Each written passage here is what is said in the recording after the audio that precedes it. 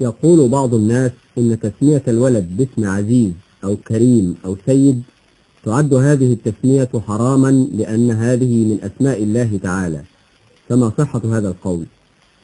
جاء في تفسير القرطبي عند شرح قوله تعالى عن يحيى وسيدا جاء أن في ذلك دلالة على جواز تسمية الإنسان سيد. كما يجوز أن يسمى عزيزا أو كريما.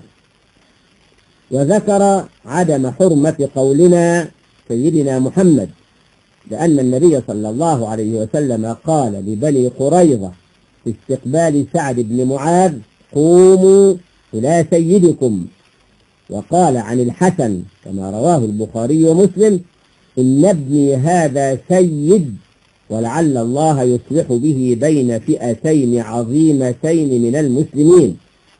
وكره العلماء التسمية بهذه الأسماء عزيز وكريم وسيد إذا كانت معرفة بأل مثل العزيز والكريم والسيد. أما بغير التعريف فلا مانع والله أعلم.